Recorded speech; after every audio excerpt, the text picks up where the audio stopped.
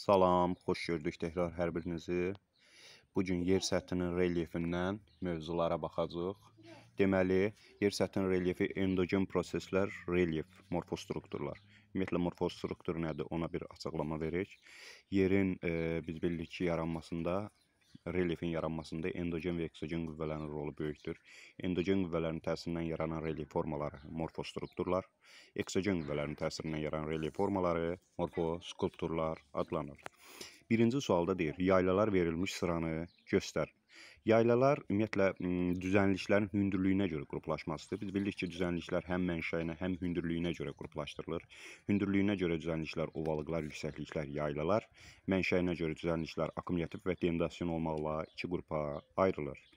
Deməli, yaylalar, ovalıqlar hündürlüyü 200 metrə qədər olan düzənliklərdir.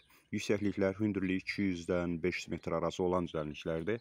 Yaylaların hündürlüyü 500 metrdən artıq olan düzənliklərdir. İndi birinci e, sual oxuyaq. Yaylalar verilmiş sıranı soruşur. Amazon ovalıqdır, Braziliya yayladır, Somali yayladır. B variantında Qərbi Sibir ovalıqdır, La Plata ovalıqdır, Anadolu yayladır. C variantında Şərq Avropa düzənliyi e, bu düzənlik həm ovalıq kimi gedir, tərkibində yüksəkliklər var. Efiopiya yayladır, Turan ovalıqdır. D variantında Orta Sibir yayladır, Braziliya yayladır, Dekan yayladır. E variantında Mesopotamiya ovalıqdır, Dekan yayladır, Orta Sibir yayladır. Bu sualın doğru abstraktı D variantı olacaq. Qədim faylı dağlara aiddir.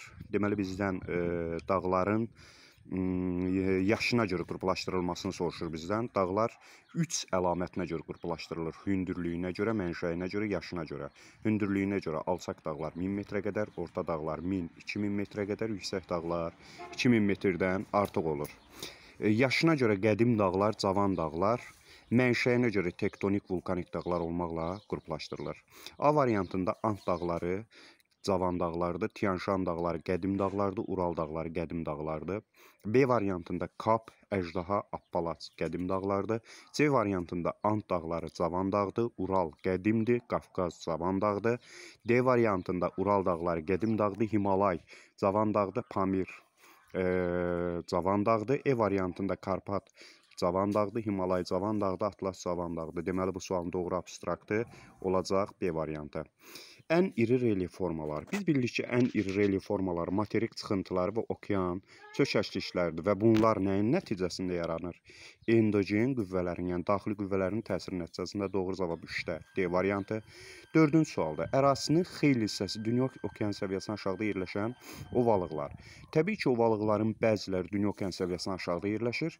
Dünya okean səviyyəsindən Xəzər dənizi 27 metr aşağıda yerləşdiyindən Xəzərin sahilində olan Xəzəryanı ovalıqla Kiraraz ovalığı da dünya okean səviyyəsindən aşağıda yerləşəcək. Bu sualda da doğru cavab B variantıdır. Seysmik qurşaqda yerləşən dağlıq yaylalar. Biz bilirik ki, seysmik ərazilər geosinkronal ərazilərdir. Yaylalar, yəni düzənliklər, istər ovalıqlar, istər yaylalar, istər yüksəkliklər həm geosinkronalda yerləşə bilər, həm platformada yerləşə bilər. Seysmik qurşaqda yerləşən dağlıq yaylaları axtaraq burdan. Dekan olmaz, e, çox uzatmayaq, dekan olmaz. B variantında Tibet olar, Əhəqqər olmaz. C variantında Meksikadır, İrandır, Anadoludur, Mesetadır, Koloradodur, Kolumbiyadır, Böyük Hövzədir, Yukondur, Peru, Puna, Boliviya kimi yaylalar ə, Tibet yaylası daxil olmaqla geosinkronalda yerləşir. 5-də doğru cavab olacaq C variantı. 6-ya baxırıq. Mütləq hündürlüyün azalmasına görə dağları düzgün qruplaşdırın. Birinci gəlin baxaq ə, bu dağların ən hündür zirvələri hansılardır? Deməli Qafqaz dağlarının ən hündür zirvəsi Elbrus 5642 metrdir. Appalaç dağlarının ən hündür zirvəsi Mitchell 2037 metrdir. Alp dağlarında ən hündür zirvə Mont Blanc 4807 də deyilir, 4810 da deyilir. Ant dağlarında Cənubi Amerikada Akonkaguadır 6960 metrdir. Sıralamağa fikir versək görərik ki, E variantında doğru cavab olacaq. Ant dağları 6960, Qafqaz 5642, Montblanc 4807, Appalaçda da Mitchell 2037 metr. 7-ci sualda Orta Sibir, Dekan, Əhəqqər, Qviyana coğrafi adlarını birləşdirən ümumi xüsusiyyətləri bizdən soruşur.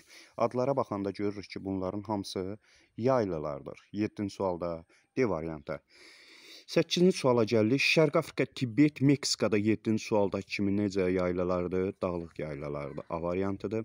Kordilyer və Ant dağlarının oxşar əlamətlərini bizdən soruşur. Biz bilirik ki, Kordilyer dağları Şimali Amerikada yerləşir, Ant dağları Cənubi Amerikada yerləşir. Meridional istiqamətdə Amerika qitəsinin qərbi ilə uzanan dağlardır. Ona görə burada oxşar cəhət soruşursa, Hertsin qırışıqlığına aiddir. Xeyr, Hertsin qırışıqlığına qədim dağlara aiddir. İnkişaf etmiş ölkələrin ərazisində yerləşirlər. E, xeyr, inkişaf etmiş ölkələrin ərazisinə düşür Kordilyer dağları. Amerika Birləşmiş Ştatlarının, Kanadanın ərazisinə düşür, amma bununla yanaşı Meksikanın, Mərkəzi Amerika ölkələrinin, Ant dağları ki, Cənubi Amerikanın inkişaf etməkdə olan ölkələrin ərazisinə düşür. C variantına fikir verin. Şərq yamacları tədricən geniş düzənliklərlə əvəz olunmuşdur.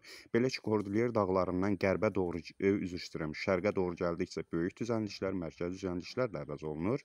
Cənubi Amerikada da Ant dağlarından şərqdə e, Braziliya yaylası, Patagoniya yaylası, Gviana yaylası, Amazon ovalığı, Orinoco ovalığı, La Plato ovalığı yerləşir. Ən hündür zirvələrin mütləq hündürlüyü eynidir. Xeyr, Kordilyer dağlarında McKinley-dir, indi Denali deyirlər 6194 metrdir.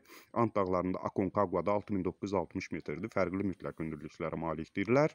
E variantında üzvü mənşəli faydalı qazıntılarla zəngindir. Deyərdim ki, filiz mənşəli faydalı qazıntılarla daha çox zəngindirlər. Doğru cavab olacaq C variantı. Şərq yamacları tədricən geniş düzənliklərlə əhatə olunmuşdur. 10-cu suala gəlirik. 10-cu sualda deyir ki, Alp, Karpat, Qır, e, Krım dağlarının oxşar cəhətlərini bizdən soruşur.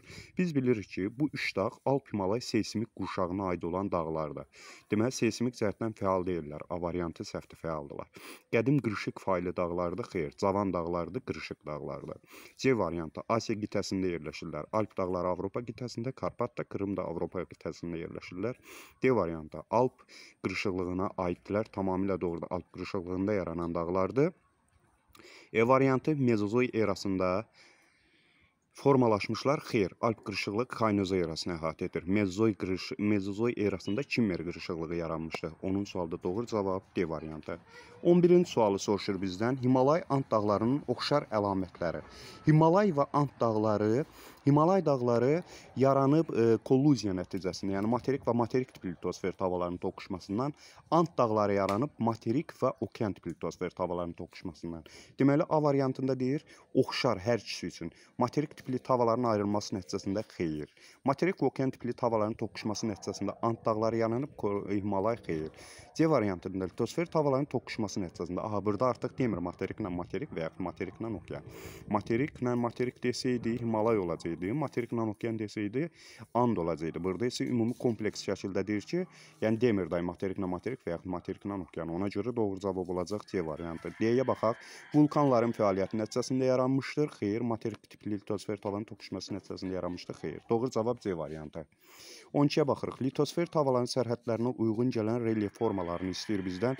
Litosfer tavalarının ə, e, sərhədinə uyğun gələn ərazilər seysmik ərazilər olacaq. Burada yaranacaq zavan dağlar qədim platforma yaranmayacaq.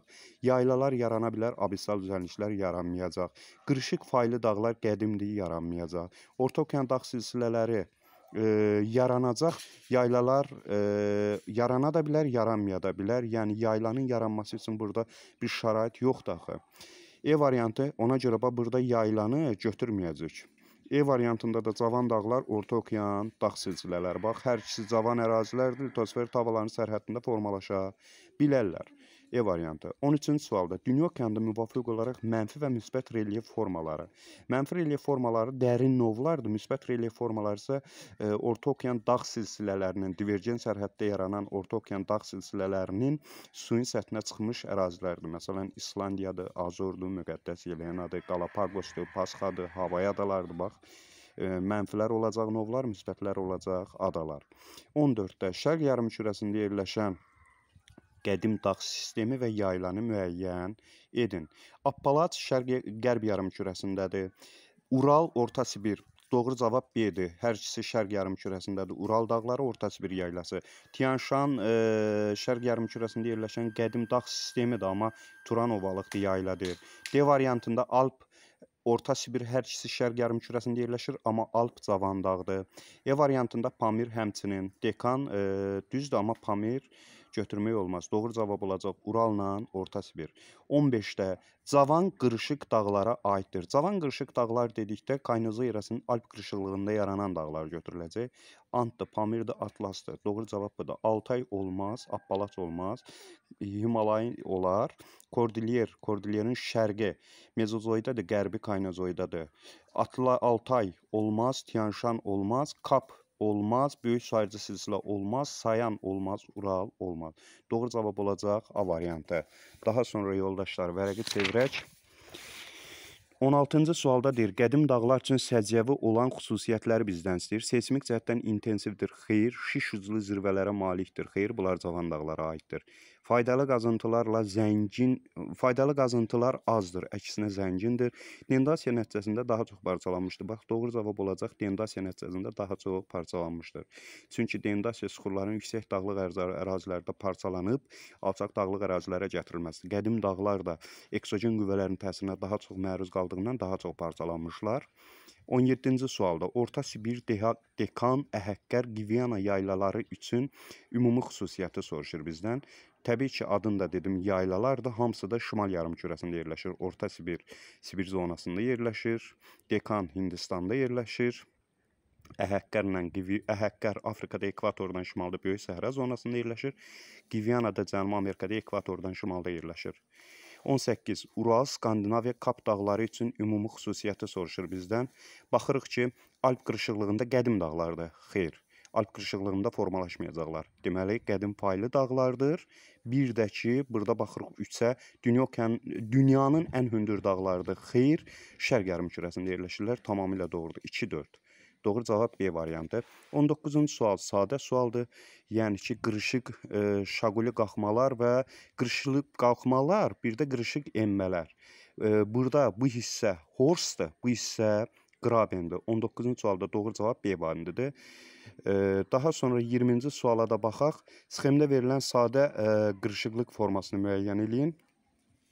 Bu geosinklinal ərazi üçün aid olan xüsusiyyətdir qırışıqlıq boyu qalxmalar olacaq antiklinal, enmələr olacaq senklinal. Buradan bir şey deyim 19-cu sualdan. Bax bu sxem Şərqi Afrika sınma zonasında müşahidə olunur. Sınma boyu qalxmalar, horstlar, enmələr, qrabenlərdir. Burada olacaq qraben 19-cu sualda olacaq D variantı. Burada isə geosinklinal ərazidə qalxıb enmələr də olacaq antiklinalla sinklinal.